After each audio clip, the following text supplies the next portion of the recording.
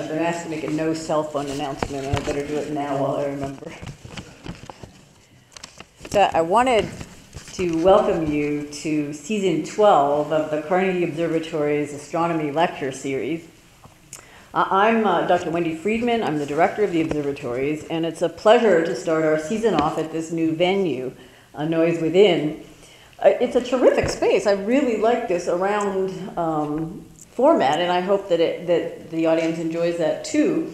Uh, as many of you know, uh, and it's very nice to see so many familiar uh, faces and friends out here. Uh, during our first 10 years, we had our lectures at the Huntington Auditorium, uh, which is now undergoing reconstruction. And before I introduce tonight's speaker, I wanted to say a few words about our speaker program for this upcoming spring. Our second, third, and fourth lectures in the series will be given by Alan Dressler, who's here in the audience uh, this evening, myself, and Dr. Andrew Benson, who's also in the audience tonight, uh, speaking about space telescopes beyond Hubble, building giant telescopes on Earth, our, our own giant Magellan telescope, and the invisible dark matter that pervades our universe. And so I think it promises to be a very interesting uh, spring series of lectures, and I welcome you back to the others in the series. Uh, and I, I, would like to thank, before we go on, uh, the person without whom we would not be here tonight, and uh, that is the person who has been organizing our lecture series for the past several years, uh, astronomer John Mulchaey, who is the Associate Director of the observatory. We all know you, John. So let me now turn to our speaker for this evening, whose topic is closer to Earth than the others I've mentioned. Uh, Dr. Lindy Elkins Tanton is the director of the Carnegie Institution for Sciences Department of Terrestrial Magnetism, uh, located in Washington, D.C. And her research efforts are, are, focused on the evolution of planets like our Earth uh, and the relationship between Earth and life on Earth. She's a renowned expert on the topics of global extinction caused by large volcanic events, and in the study of the chemistry and physics of the formation of terrestrial like objects, the Earth, the Moon, Mars, and objects like the Earth beyond our own solar system. She's led four expeditions in Siberia uh, and has participated in fieldwork in the Sierra Nevada, the Cascades, and the Faroe Islands and in fact, it's not unusual to receive an email from Lindy that goes something like, Sorry, I can't answer my email right now in Siberia. Come to think of it, boy, I wish I could send a message like that sometime. I think I might borrow it. Um, be sort of fun. Dr. Elkin Tanton received her BS and uh, MS from MIT in 1987 uh, and she then went off into the business world, where she spent eight years working outside of academia, uh, returned again to MIT for her PhD, spent five years as a researcher at Brown University, uh, and then followed by five years on the MIT faculty. Uh, she culminated as an associate professor of geology before we snagged her away to Carnegie, and she accepted her current position uh, as director. Um, Lindy is the recipient of numerous awards and honors. She's a two time National Academy of Sciences Kavli Frontiers of Science Fellow. In 2010, she was uh, awarded the Explorers Club Lowell Thomas Prize. Uh, the second edition of her sixth book series, uh, The Solar System, which is a reference series for libraries, was published in 2010. And in 2013, she was named the Astor Fellow at Oxford University. More than that, Lindy is a tremendous colleague and a friend. Please welcome Dr. Lindy Elkins Tanton.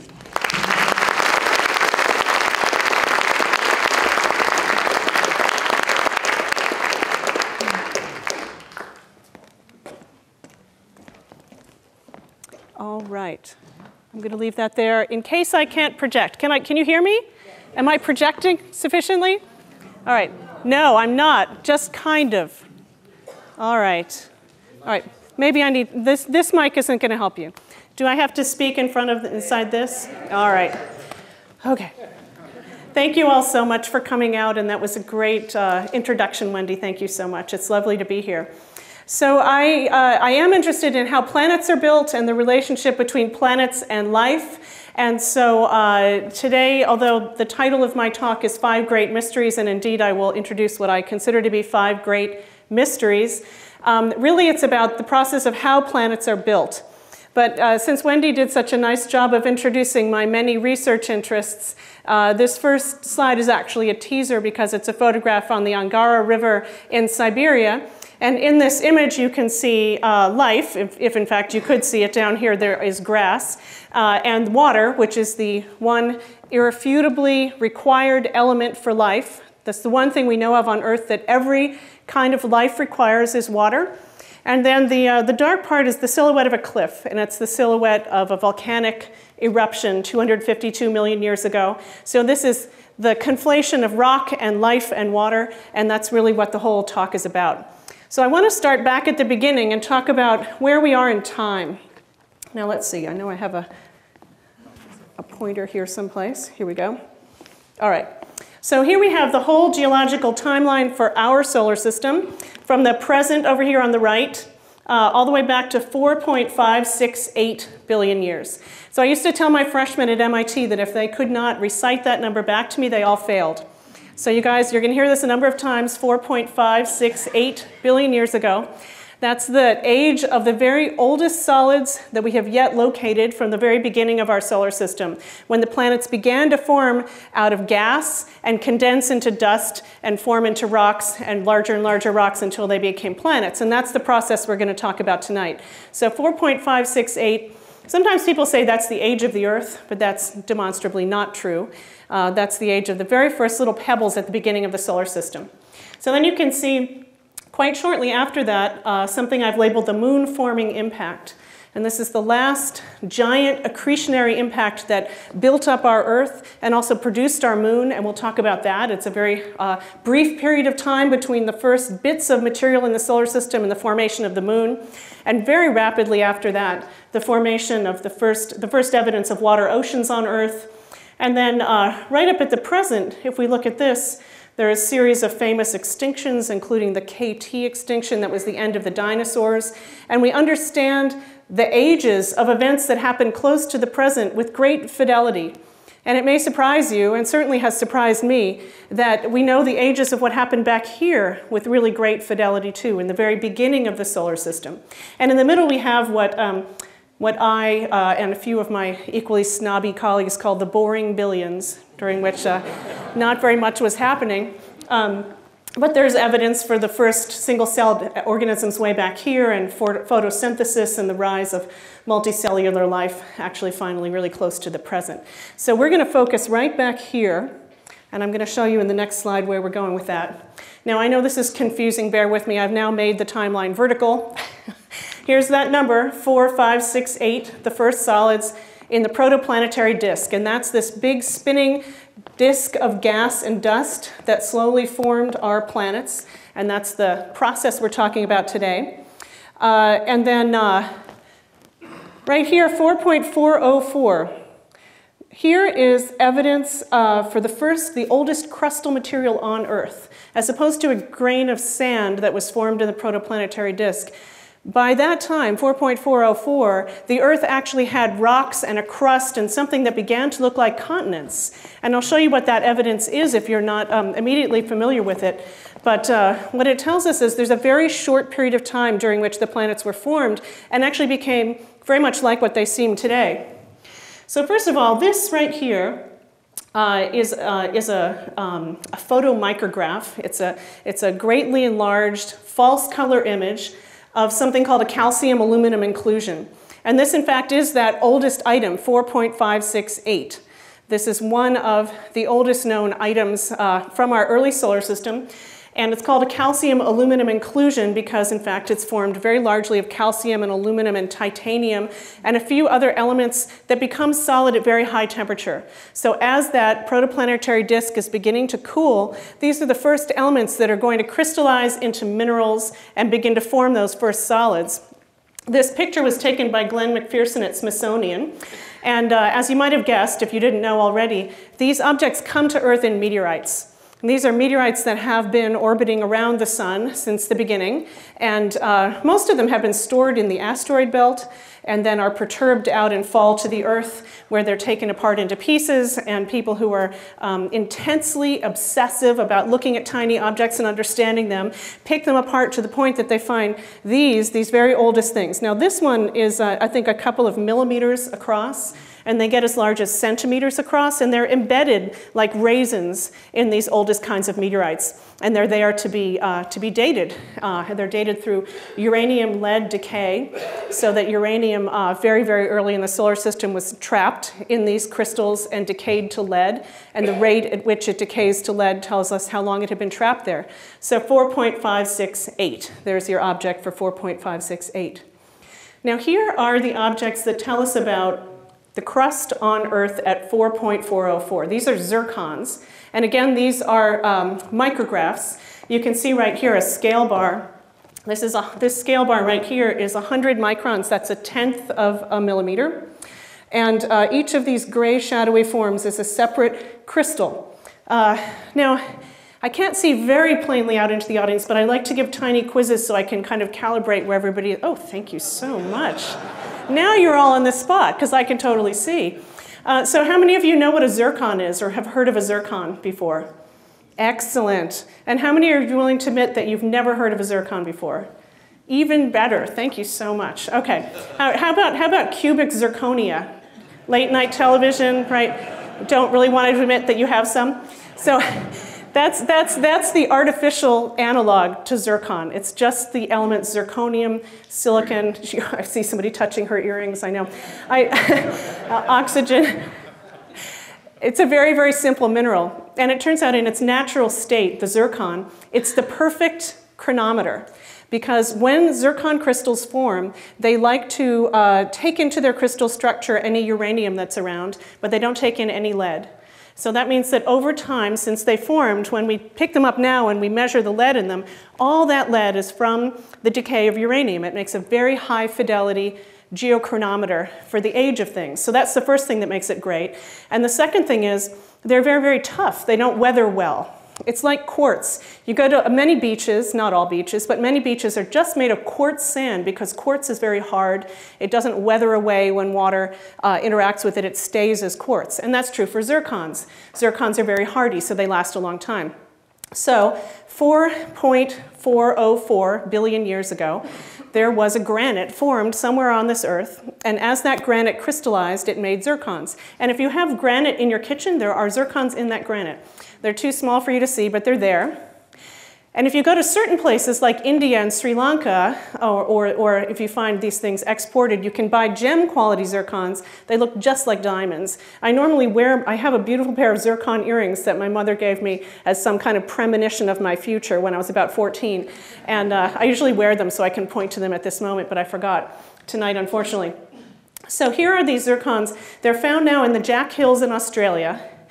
And so why am I telling you about these zircons? I'm going on and on about zircons and trying to teach you everything about zircons because they show through the particular composition of oxygen in the crystal uh, that they were made in the presence of liquid water on the surface of the earth. So, so I, can, I can go into a greater explanation of this um, at the end of the talk if you're interested, but it is complicated if it's not your field already. Uh, but trust me when I say that the oxygen composition shows the existence of liquid water at that time.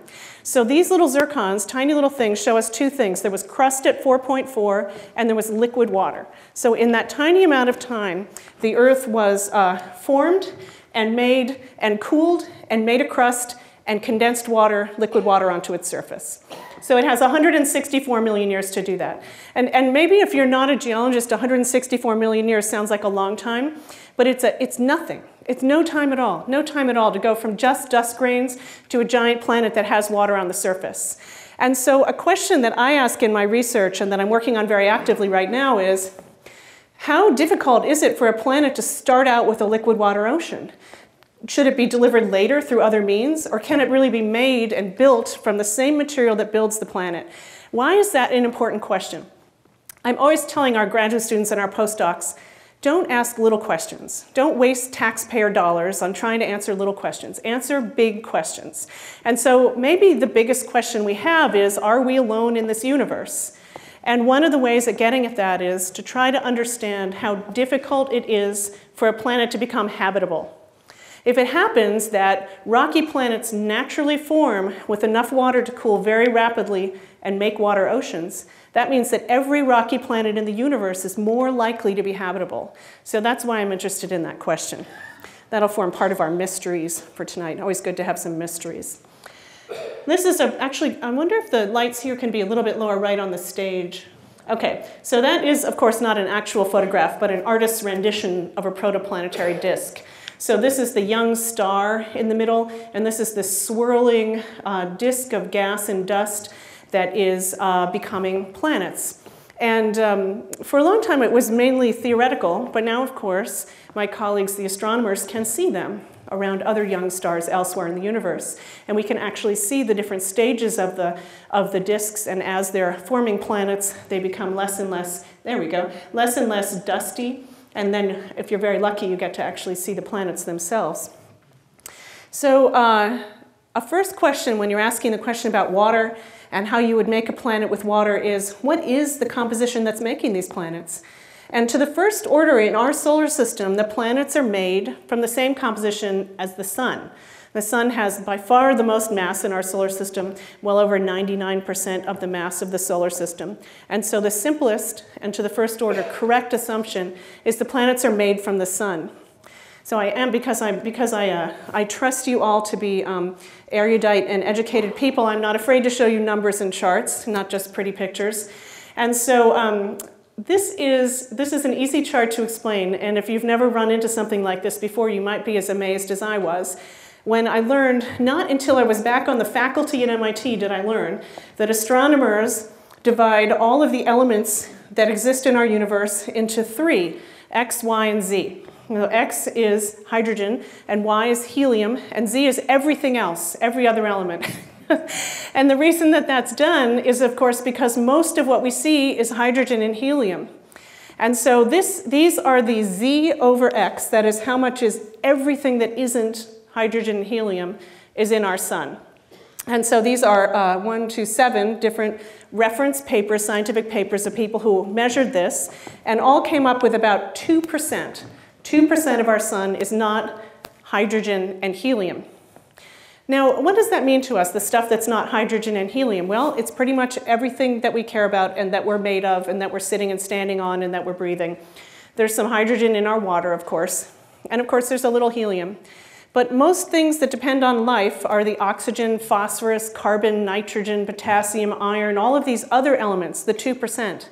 And if you're just talking about water, that's less than 2% of the 2%. So we're trying to follow the trace of the trace of what the solar system is really made of to see whether there's enough of it to make our planet habitable. So that becomes a very difficult problem scientifically to try to follow the trace of the trace through all those chemical and physical processes. Someone pointed out to me once that um, as time has passed, the Z in our star is falling, which would seem alarming if you didn't realize that was just a measurement artifact as time went on and people developed different ways to measure. All right, so we're looking at for the trace of the trace. Now, also because I have a high regard for all of you, I'm willing to show graphs. I've been told that, uh, that you should never in a public lecture show numbers or graphs, but I think that that's condescending. Don't you all think it's condescending? Absolutely. Yes, thank you very much. so, so here's a wonderful graph looking at a protoplanetary disk fraction of all the protoplanetary disks that are seen on the um, vertical axis. So these are astronomers who are looking out at young stars of varying ages. And these are the ages along the bottom from 0 to 10 million years after the stars first formed. And they're asking how many of those stars still have dusty disks around them, like that artist's rendition that I showed you. And you can see that the number falls very rapidly down from all of the very young stars have dusty disks down to by about 10 million years, they're all gone. So, why is this interesting? Well, first of all, virtually every young star does start with a disk. People say that virtually every star has planets. That's a new result. People used to not know how many stars had planets. Uh, and then the other important thing is, by about 3 million years on average, that dusty disk is gone. So you have to make your planets in 3 million years. That's kind of like saying, I would like you to make a pan of brownies in the next 25 seconds it has to happen really fast, much faster than people had understood previously. So by actually observing things instead of just theorizing about them, we're surprised and we have to uh, change our opinions and develop new physics and new chemistry to explain what's going on. All right, so what is happening in those three million years? Well, first of all, you're taking all these little bits of, well, fundamentally grains of dust and sand, and you're accreting them into bodies we call planetesimals. Now, these pictures haven't, these colors have not come out very well, I'm, I'm afraid to say, but you might be able to see that there are central parts and then there are outside parts. Um, these are virtually tiny planets. They are composed and uh, structured like the Earth or Mars, but they're small, tens to hundreds of kilometers in diameter.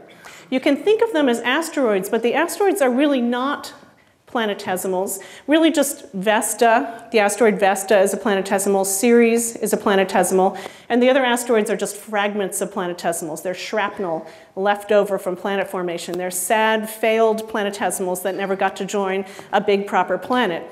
Uh, and so, in a very short amount of time, in less than three million years, you have to make these bodies that are tens to hundreds of kilometers in radius and then you need to further accrete them together into big planets. And then sometimes they're not properly accreted into planets, and instead they're broken up in catastrophic impacts into more shrapnel, which falls to our Earth as meteorites and gives us clues about this whole process. And so that is the critical process that has to happen in three million years. So that's when we come to our first mystery, which uh, some of these mysteries I really have no answer for, and some of the mysteries I do have some answers for, so I guess they're cheat mysteries, but uh, there are things I think are very important and interesting. And the first one is, where did the Earth's water come from? So I wonder how many of you were taught that the Earth's water came from comets. Were some of you taught that? Yes, I see some happily waving hands. So was I, I was taught that. Um, oh, it's okay, I think, uh, I think happily waving hands can be seen in the dusk too. Thank you. Um, so it turns out that's not right. It, the Earth's water didn't come from, isn't that disappointing? I know. Isn't it disappointing to learn that almost everything you learned in science class is wrong? Yep. Think of how depressing it is to know that almost everything you discover in your whole career will be wrong very soon. Yep. Yeah, that's true too. That's true for all you scientists. Don't think I'm just pointing at me. I'm pointing at you too. So where did the Earth's water come from? Ready for another graph? Here we go. This is a good one. This is the kind of graph that makes even geochemists uncomfortable, but you're going to totally understand this in just no time. All right, so hydrogen, you might know, comes in the regular form known as H or hydrogen, or the heavy form, deuterium. Deuterium became famous in the era of bomb making. Most of us have heard of heavy water, which is water made of deuterium and not just hydrogen. So it turns out that there's naturally occurring deuterium, and that ratio of deuterium to hydrogen in water is characteristic of the parent body from which that water came. The Earth's water supply, all of it, has a characteristic deuterium to hydrogen ratio. And so do other planets and other bodies. So uh, if we just look at this horizontal axis, you don't need to know scientific notation if you don't happen to. The numbers don't matter, as they say on those game shows. But deuterium over hydrogen. So here's the Earth. So if you go straight down, you'll see that's about what the Earth's D to H ratio is. People started measuring comets to see if cometary water was what the Earth has. And they measured these comets over here, which you can see do not plot at the same place as the Earth. And so people said, oh, good, only 10 or 15% of the Earth's water could possibly come from comets. It had to have come from rocky, asteroidal type material. But then a very annoying person went and measured this one right here, which pretty much matches the Earth dead on. That just happened fairly recently. And then some people said, well, then, maybe the Earth's water did come from comets. However, this is a two dimensional graph. And if you look at the vertical axis here, which is nitrogen isotopes, nitrogen that weighs 14, nitrogen that weighs 15, isotope people, they live for this stuff, right? So it turns out if you measure all the nitrogen on Earth, there's a ratio of the weight of, of, nitrogen that puts it right here on this axis. And you'll note that all the comets are up here. None of the comets meet the Earth in nitrogen. Therefore, the Earth's water cannot come from comets because comets would have delivered the nitrogen at the same time. They couldn't have helped it. Comets are made of both things. And a clever colleague of mine also pointed out that comets are only about half water. And the other half has a lot of organic material in it, and that organic material has deuterium and hydrogen. And it turns out the organic material from comets never matched the Earth's deuterium to hydrogen. So the comet story is over. Comets definitely did not deliver water to the Earth. We now know with great certainty because of these measurements and others, and in fact, a lot of them done uh, by Carnegie Institution scientists, uh, that, that things just like the rocky meteorites, like asteroids, are what brought the water to the Earth. So that to me was a big step because now we know that the same material that accreted to form the Earth also brought water to the Earth. What, the, what it doesn't answer yet, though, is when that happened.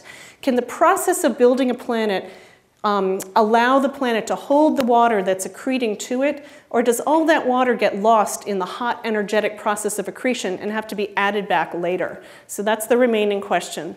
And again, the reason that that's interesting is because if the planet is built with enough water to form oceans and does not need later additions to make oceans, then virtually every rocky planet in our universe could be expected to have oceans and be habitable.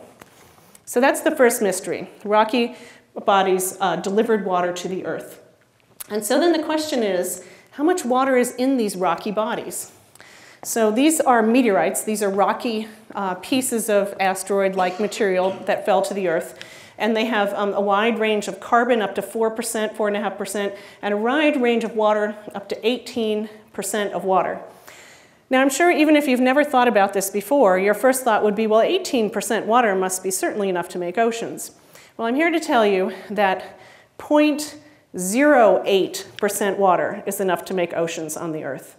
You don't need very much water, it turns out. You don't need to keep very much water during the accretionary process to make oceans. So that's all encouraging for those of us who are looking for habitability back through this process right here. So these are thin section, these are sections, cartoon sections of these planetesimals that are accreting to form the Earth. And a question that my, my student Roger Fu and I have been asking is, as they are built up into larger and larger bodies, bodies a thousand kilometers in radius, can they keep their water or do they naturally dry themselves out before they make planets? Uh, and it turns out that people have not very often asked that question before, tried to understand water planetesimals. And to me, that's extremely interesting because they are the things that build the planets. We've got to know what happens in them before they make planets. Uh, and so um, there's a guy, Ed Young at UCLA, who's done a tremendous amount of work on whether fluid, water-bearing fluid could actually percolate to the surface and be lost to space, which it seems like they would do on larger planetesimals and wouldn't do on smaller ones. And Roger and I have been studying what happens when the interior melts. Do those silicate melts erupt onto the surface? Was our early solar system filled with tiny bodies 20 kilometers in radius with volcanoes on their surfaces? These things are possible. And the, the conclusion we come to, actually, is that there was a very wide range of compositions in these early bodies and a wide range of water contents. And some of them were wet enough to build a wet planet.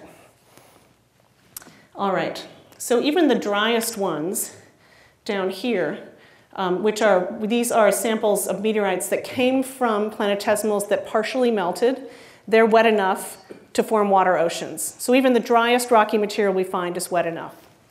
All right, so let's, now this is a little self-serving mystery that some of you in the audience will know about. Could planet formation processes make metal planets in addition to rocky, icy, and gas planets? So now we have rocky planets, we have icy planets, we have gas planets. Do we have any metal planets? And why would I be asking this question? Because in fact, we are proposing to go see just such a metal planet.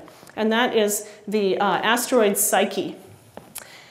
So Psyche is, uh, was the 16th asteroid discovered in the 19th century when people started discovering asteroids in the asteroid belt. Did you know there are now more than 50,000 asteroids known? And at that time there were just a few. And the 16th one found is this body Psyche. And with modern scientific method, we have figured out that Psyche is not made of rock and it's not made of ice. It's made of iron nickel metal. It is a stripped core of a planet. The core of the Earth is iron nickel metal, the core of Venus, the core of Mars, the core of Mercury. And here is the core of a planetesimal that's had all of the silicate on the outside stripped off. And so we're hoping to go there and visit a core the only way that humankind ever can. And there are a bunch of my friends in the audience tonight at Jet Propulsion Laboratory who are working on this proposal with me. And I just, um, I put it to you, how exciting would it be to see a metal body, a metal surface? This is something that humankind has never seen. One of the really wonderful things that happens in the laboratory when you make an impact into a metal body, you don't make a crater like you make on the moon. Sometimes when you put an impact into a metal body, the ejecta that's thrown out by that impact freezes solid before it falls back to the surface. So you could have frozen ejecta flaps of metal on the surface of this crazy body out there in the asteroid belt. So if we're very, very lucky. Uh, uh, next year we'll be selected out of the 40 or so proposals. And if you hear of a mission going to Psyche, that will be us. To go see the only metal world that we have. All right, so then what happens with these planetesimals? I hope now we've gotten to the point where you see that there's plenty of evidence for a wide variety of different kinds of planetesimals with different compositions, especially different water contents. And what happens is these little planetesimals, some of them molten on the inside, bang together and they create what are called planetary embryos. These are bodies about the size of Mars, which then bang together to, create, to become giant planets. Um, this process is theoretical, it has never been observed. But it kind of has to happen because we're standing on a planet, we know for sure. And we know that planetesimals existed because we can see that in other uh, disks around other stars, they're just gas and dust. And we can see from the meteorites that fall to Earth that we had bodies of these sizes. And so somehow, when they're orbiting around the star, when they collide and gravitationally interact, they uh, accrete into larger bodies. And so just here's a recap of where we've come so far. So here is a little picture of the, of the disk that I showed. Originally we just have um, gas in this disk and then uh, dust forms and, and some um, material accretes into these calcium aluminum inclusions and now you can all say 4.568 billion years ago is the age of these first solids in the solar system. And then uh, planetesimals are formed from those small bodies, and they collide together into embryos, which collide together to make planets like the Earth. Now, I didn't mean to totally skip over this little asterisk, which is the universal scientific symbol for then a miracle occurs, because that, because that's the next mystery. All right, so if you have bits of dust and tiny bits of, uh, of, of, grains of sand, they can often stick together through um, uh, magnetic and electric forces.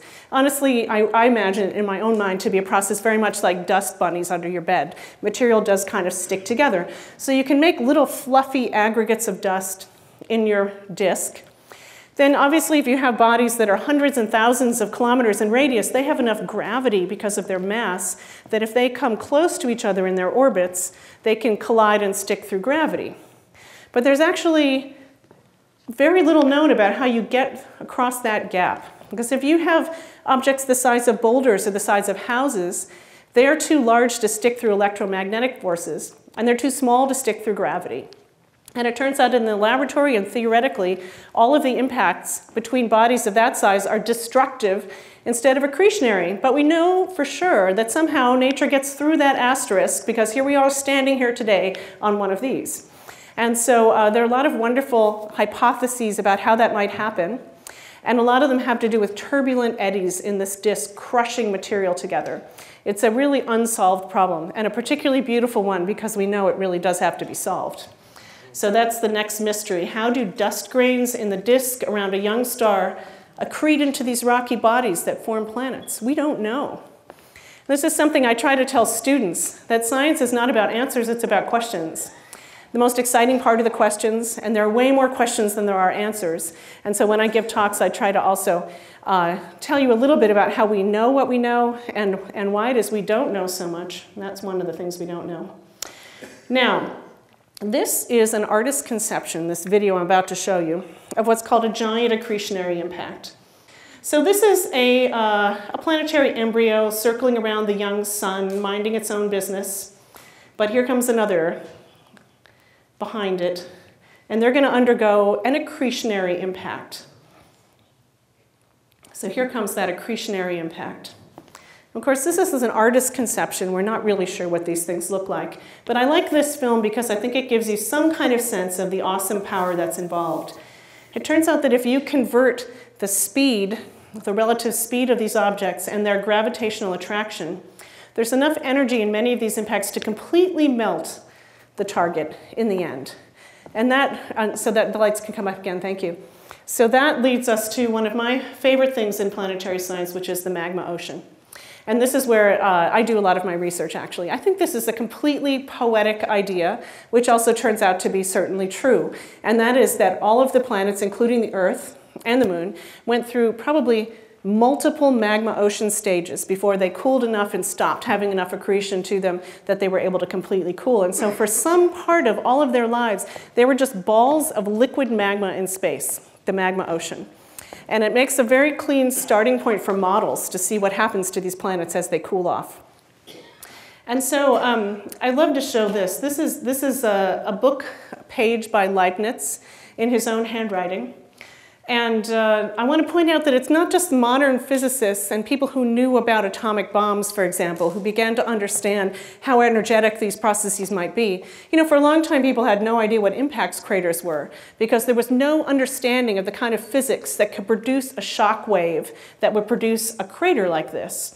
We knew about how you could, you could throw something the size of a house down on the Earth and it would only form the kind of crater you'd expect if you threw a pebble into a sandbox, just a dent, basically, not a crater. But if you throw a big thing very, very fast and has so much speed and it builds up such a shock wave that, like Chelyabinsk, there's an uh, explosion, and on a bigger scale, it, it blows a big crater in the object. And we all take craters for granted because you look up at the moon, it's covered with craters. And you can go to, to meteor crater and you can look at other craters on the Earth and it's kind of understood that these come from these uh, super fast cosmic collisions. But there were many, many, many centuries when that was not understood in any way. But even before it was understood, Leibniz was out there and he posited that the Earth was once molten. Now think about 1693, right? This is before people knew what an atom was. And he had this idea. So, how did he get this idea? I think most of us think of Leibniz, if we think of Leibniz at all, as uh, one of the fathers of calculus. But it turns out that in his spare time, he was a, a, geological mining engineer in the Harz Mountains in Germany. And what he did was he pumped the hot water out of the mines so that people could go on mining silver. And being an observant and possibly terminally bored person, he noticed that the mines were hot as he went down and, they were, and the surface of the earth was cool. And so just from that simple fact, he immediately deduced the following. Since the Earth is a sphere, if it is hot on the inside and cool on the outside, then you have a time-dependent process by which heat is radiating out of the Earth, which means that in the past the Earth was hotter. And in the distance past, the Earth was hotter still. And he said, well, the Earth had to must have been molten. In fact, he thought it condensed from something like a plasma or a gas. And so he was the first, I think, to have this idea of a magma ocean. And this is my favorite part, and I can never resist saying it. So centuries later, Fourier in France read this and he thought about heat and it inspired him to produce the heat transfer equations for which he is so famous and which transformed all of engineering and science. And so um, it infuriates the mathematicians greatly, but I'm here to tell you that planetary science is at the very foundation of mathematics. Yeah. yes, none of my mathematician friends laugh when I say that. So here's another model of a giant accretionary impact. Now, this giant accretionary impact is produced by um, a computer model, so it's not an artist's conception. It's an actual calculation with the best physics and uh, chemistry that could be managed at the time. It's done by Robin Canup at the Southwest Research Institute in Boulder, Colorado. And uh, it's meant to mimic the formation of our moon. This is the uh, most widely supported hypothesis for why the Earth has a moon. Because an object, something like the size of Mars or smaller, came and struck the young Earth uh, with such force and such a glancing blow that it spewed off all of this material, some of which then reaccreted to form the moon. And the key, pic- key thing about this simulation is not just that it forms a moon, but the colors in it are temperature. And uh, I mean, of course, you might infer that red is hot. And indeed, the HER models indicate that the Earth would have been molten almost to its core by this impact. And so think about that's, the, that's where we're starting on that timeline that I showed you in the very beginning. We're starting with um, uh, an Earth 60 or 70% of its, of its current size, whichever model version you like best, struck by another body, completely melted, and then those pieces reformed as its moon, circling around it, also molten. So we had a molten Earth and a molten moon, which I think is about as poetic a beginning as you can ask for. And so that's the fourth, the penultimate mystery. Why are there not more moons? And I think this is a great question, and we spent quite a long time debating it at a conference I was at last summer at the Royal Society in London, which I'd just like to say because I'd never been there before. It was very exciting. We were at the Royal Society discussing the moon, and, uh, and this was the question. Since we know that giant accretionary impacts are what forms planets, they're a necessary part of planet building, and we're pretty darn sure that one of our big giant accretionary impacts made the moon. Why are there not more moons? Where's Venus's moon? Where's Mercury's moon? Why are Mars's moons so tiny? Phobos and Deimos. And uh, I talk about this with my friends and, and you know, my planetary impact kind of friends. And, and, they say, and they say, well, there probably were a lot of moons and they were just lost in subsequent processes. But that's kind of unsatisfying, isn't it? I, I mean, nobody really like. We'd like to see them. Where are those moons? And if we don't had, didn't have moons, if they were lost in some careless, you know, uh, importance of being earnest way, then um, maybe we need to figure out why that is, because they had to have been formed fairly late in the process when the impacts were very large. Um, and so then what further processes would those, cause those moons to be lost? One possibility is planetary migration. And I'll come to that more at the very end of the talk, but we were all brought up to believe that our solar system is, in that Voltaire way, the best of all possible and most typical solar system. How natural to have the rocky planets close to the star, the small rocky planets, and the big gas and ice planets way out where things are cold and ice is happy. It makes some kind of intuitive sense, except that it doesn't make intuitive sense because you have to make those big planets really fast, as fast as you make the small planets, but they're so big. How do you put all that mass together so fast? It's easier to make massive planets closer to the star where there's more material. And of course, as we find more and more exoplanetary systems, we really find none that look like our system. So ours is sadly not the most typical planetary system, I don't think. So where are those moons? All right, a couple of more slides that are graphs, because I know you're up for this, uh, to talk about water. Because, so before I make you look at this anymore, which I will in a moment, let me ask you a question. No, you're going to love it. You're going to love it. If you don't understand it already, you'll love it once you understand it. It's amazing. Uh, so have you wondered, while I've been showing you these pictures of magma oceans and giant destructive accretionary impacts, um, how a planet could possibly keep its water through that? Did that occur to you? How does the water stick around? Why is it not blown off to space and superheated and let off as steam and off it goes? And so I turned to mission data, the data from NASA space missions, to explain or investigate whether or not water is lost during giant accretionary impacts. And so before I make you look at that next graph, I want to say a couple of words about the bodies that we've observed with NASA missions that are going to show up on this graph. So there's the Earth. The Earth is wet, right? We all agree the Earth is wet? Pretty wet. Mars, it turns out, was pretty wet in the past. I, you know, I hate to say this with JPL people in the crowd, but how many times have we found water on Mars? Now, we found water on Mars about 100 times. There was definitely water on Mars, and there's seepy water on Mars to this day. Mars is small, it is inadequately gravitationally strong to hold on to its water. It's been losing its water for 4.568 billion years now. Not quite that long because it didn't exist right at the beginning. Uh, so Mars wet, Earth is wet, Moon is dry, right? Moon is dry? Dry-ish. Were any of you confused by the news that came out about six or eight years ago? Moon is wet all of a sudden. Was that confusing? That was confusing to my graduate students. They came into the lab and they said, What do you mean the moon was wet? Like it had rivers or something? It had oceans? Oh no. Much, much drier than that. Just tiny, tiny bit wetter than people used to think. Moon is pretty darn dry. Mercury should also be completely dry. Why? People thought the moon was completely dry because it was formed by a giant impact in the way that I showed you. That was the detritus that was flung off into space. It was extremely hot. It was orbiting the Earth out in space. It was losing its volatiles um, willy-nilly off into space. And when it reaccreted, it was totally dry.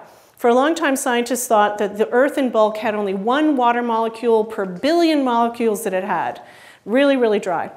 Mercury, the planet Mercury, is kind of the poster child for dryness right by the sun.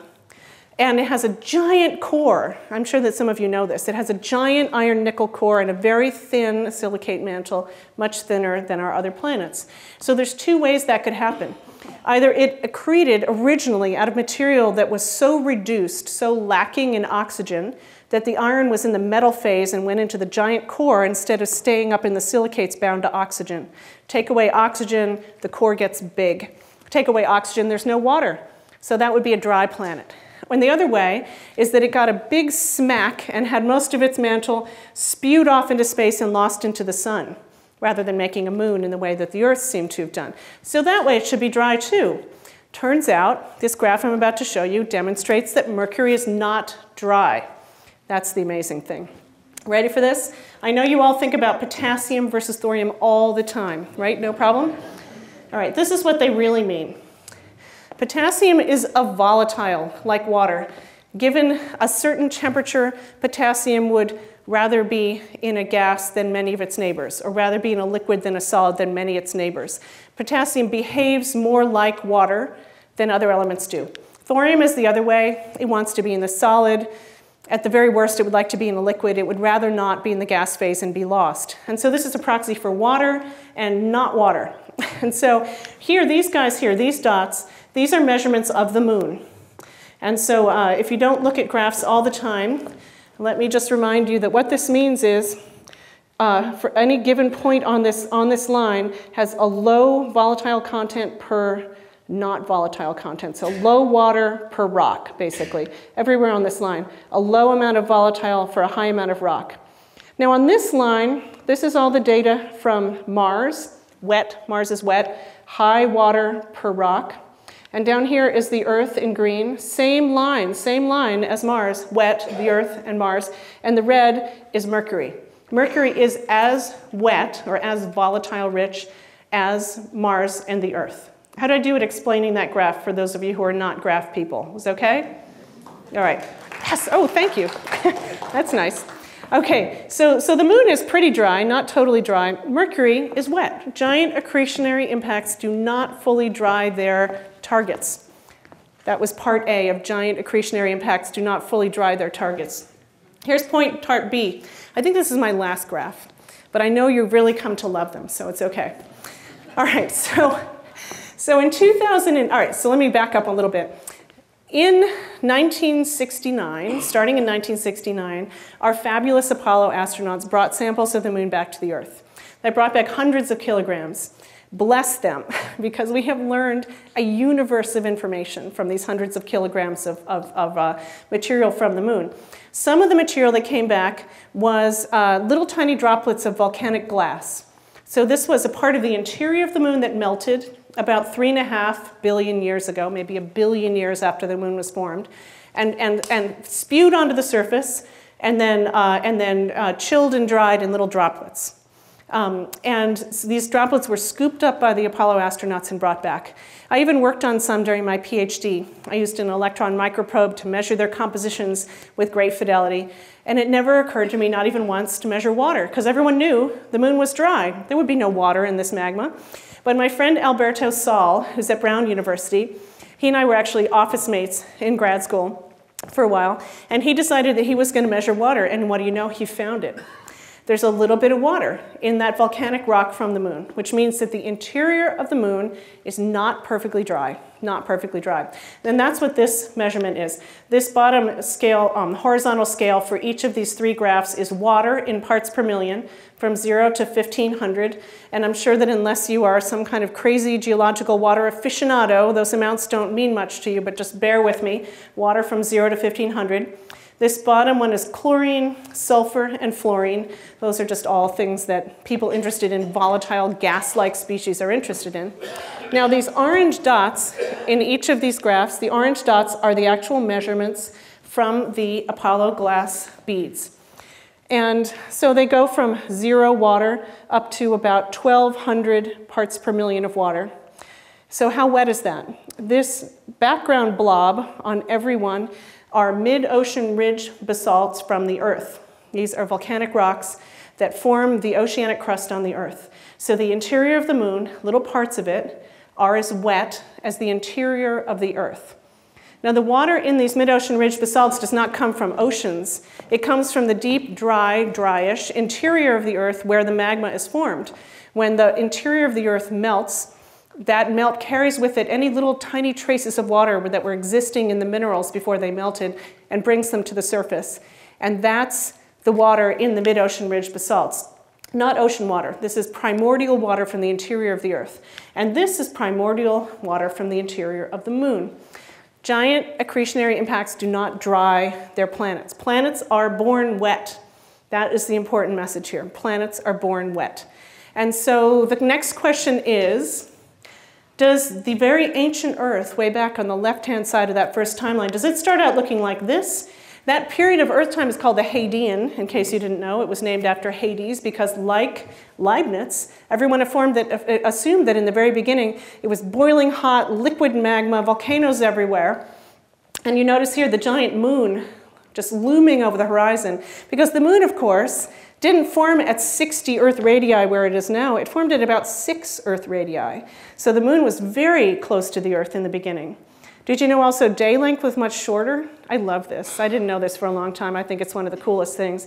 The Earth spun much faster, day length was much shorter. The moon was right there. If you have not read this, you need to read Italo Calvino's short story um, from his section, his uh, book called Cosmicomics, in which he talks about how in the old days you could go out on a boat in the ocean when the moon was very close to the Earth and it would pull the tide up so close that you could climb up a ladder and jump onto the moon.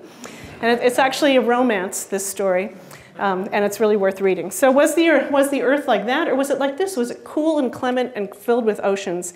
And of course, the New York Times was inspired to make this picture by those zircons that showed water. And so indeed, it was, I'm going to skip that, and I'm going to skip that. No, I'm not. I'm going to go back. Sorry, isn't it annoying when people skip slides? I'm only going to skip one. Um, so, so this is a graph of um, how much water is in common meteorites, planetary building materials, we think.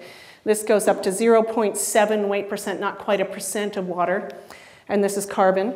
Now, if you built a planet from only 0.1% um, of water and you allowed uh, the chemically appropriate amount to stay in the planet and the chemically appropriate amount to come out of the planet, and then cool off and form into oceans once the steam cooled, you would make uh, an ocean over the surface of the Earth five kilometers deep.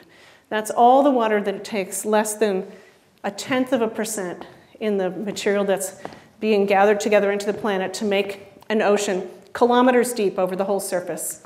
And you can see that the water content of these materials that we think built our Earth go up to much higher water contents than that. All right, so the final mystery, can we still think of our solar system as an average solar system, or do observations of exoplanets shows ours is an unusual place? And this comes right back to not only the question of are we alone in our universe. So this, so this argument that I've built up over this 45 minutes, I hope that I've convinced you in some way that rocky planets are built with enough water to make oceans even if we don't know quite how they get from dust to planetesimals, we don't know that. Even if we don't quite know why there aren't more moons, we do know, I would say, that rocky planets are built with enough water to be immediately habitable, that is to have immediately have liquid water on their surfaces. And so I would say that I would posit that. Rocky planets everywhere in the universe, if they're formed from similar material to ours, are likely to start out to be born with liquid water oceans and therefore to be habitable. But here's the problem. Is our Earth system really like all the other systems? And how bad would it be if it was not? And it comes back, and I don't mean bad in a cosmic way or some way that we're meant to be depressed about, I mean in a scientific way because we're used to being, we're trained to think in an Occam's razor kind of way. And, and that has really two important implications. One is this idea that the, that the simplest answer is probably the right answer, which is a very nice, beautiful way to think, but it has a kind of a corollary, an insidious corollary in people's minds, which is the most common answer is probably the right answer, a sort of a bell curve world. Well, if this is sort of the average thing, then that's probably about how most things work. And since everything we know about planets really comes from our solar system, and we're just beginning to learn really substantive things about other solar systems, how hard is it going to be for us to take the information we have from our solar system and apply it to others. How hard is it going to be for us to say, well, we're pretty sure that all of our planets were habitable early on. Habitability is a temporal problem, right? Mars was habitable early on, for sure. Maybe even still habitable now, but not as habitable as the Earth. These times pass. You know, planets age, they have life cycles like people. Their habitability comes and goes, sadly. So, uh, I have this wonderful film, and I just am worried that you're not going to be able to see it. But if we could just take the, the, the, the light down, I want to try to show it to you.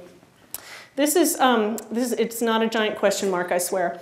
Uh, this is um, a wonderful uh, animation of real exoplanet data, real data about planets around stars other than our own, uh, done by um, Jared Thorp in Vancouver. And he does a lot of work right at the cusp between um, art and science. And he's made this beautiful visualization. And I'm going to start it and stop it a couple times and explain to you the parts that are hard to see. So this part I know is very hard to see, so never mind. It's, we're just uh, zoomed out um, for a moment. Okay, here we are zooming in. So I'm going to pause this and just um, orient you so you can understand what we're doing. This data is a couple of years old, but what it's doing is it's showing the whole population of known exoplanets at that time within the framework of our solar system. I don't know if you can see right here, there's a little white dot and a little completely illegible line and the word Mercury. So this is the distance from the sun that Mercury is in our solar system, and this is the distance from their suns that all of the exoplanets that were well known at that time were. Almost all of them inside the orbit of Mercury in places where we do not have any planets in our solar system. And we're going to keep zooming in. These sizes, of course, are a bit exaggerated. Well, I guess not very much. Maybe they're not exaggerated. I take it back.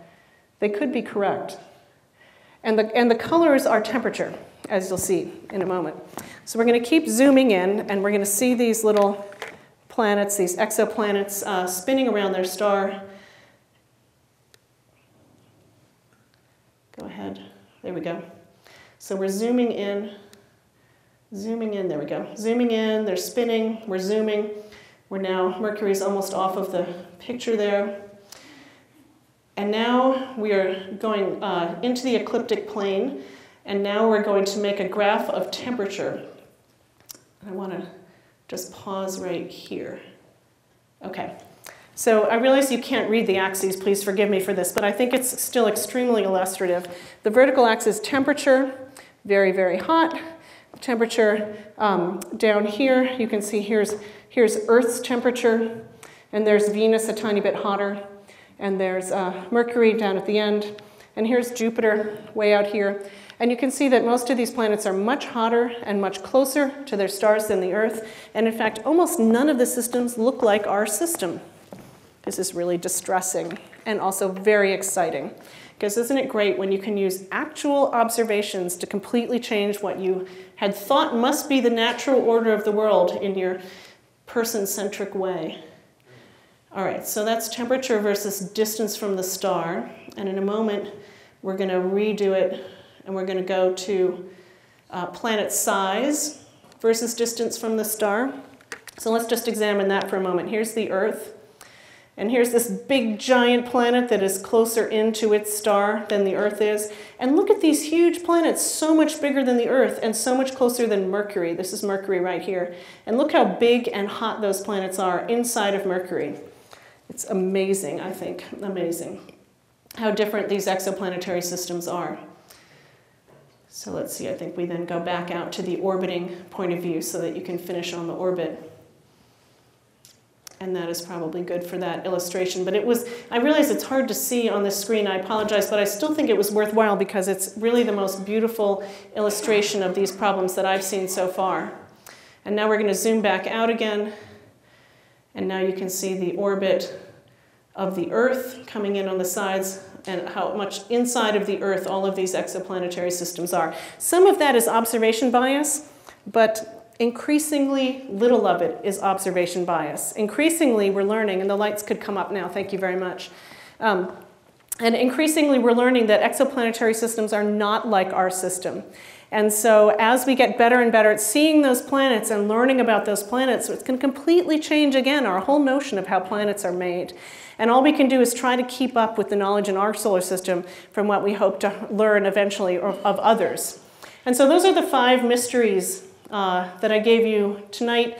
Where did the Earth's water came from? That one come from? I think I answered that it came from rocky material, and I would posit it came from rocky material as the Earth was forming, not later. Could planet formation processes make metal planets? Well, it can make a small metal planet. Psyche, the one that we hope to go visit, is about 200 kilometers across. Uh, and, and by the way, for those of you who are interested in planetary resources and these ideas that we might go mine these planets someday, asteroids, should that ever be possible, Psyche would be a great target because it's probably um, uh, 5 to 10% nickel by weight and a tremendous amount of platinum group elements, but it's a little hard to get to and come back from. Not quite cost effective. That's the little skipped step in some of those calculations. All right, how do dust grains around a young star accrete into rocky bodies? Once they got past that dust bunny stage, there's that magical step that I, that I marked with an asterisk. That feel free to use that if you're a scientist, the asterisk, it's good. when I was teaching math to undergraduates, I told them that they could one time during the semester use the famous mathematical symbol greater than, less than, or possibly equal to in, in an answer. Why aren't there more moons? No one knows the answer to that question. And can we still think of our solar system as the average, or do we have to admit that we're not in the middle of the bell curve and we have a lot to learn? Thank you very much.